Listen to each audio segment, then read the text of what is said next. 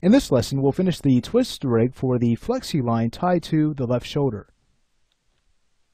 So now all we need to do is take care of the twisting of this connect curve here tied to our forearm.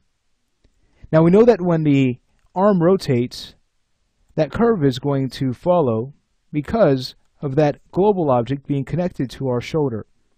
So what this means is that all we need to be concerned with is how this connect curve will follow our FK control.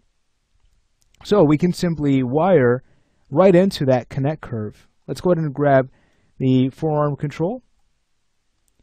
We'll right click and choose wire parameters. We'll go ahead and find its twist axis, so that's 0 Euler X.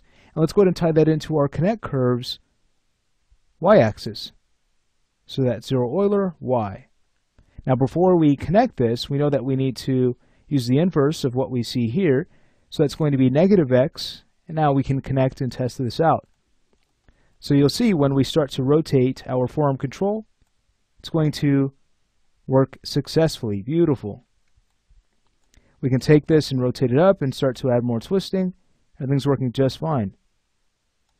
Alright, so I'll go ahead and use transform to zero to bring this back.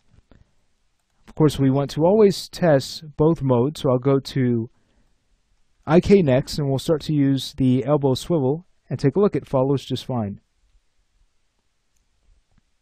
Alright, great.